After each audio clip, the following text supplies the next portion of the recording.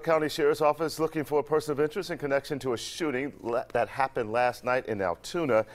Investigators are looking for 38-year-old Danny Quick. They say the incident happened on Egypt Road.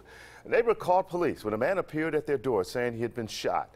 Linda Sneed and Selena Miller are also persons of interest. Investigators are questioning them. If you know where Quick may be, contact the Etowah County Sheriff's Office.